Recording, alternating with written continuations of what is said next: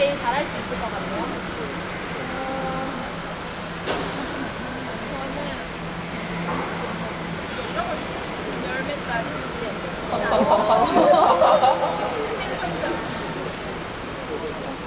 생선 손질이요.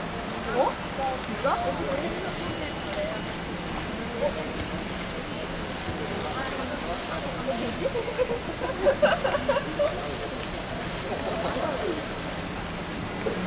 아니, 낚시하고 싶다. 근데 아빠가, 아빠가?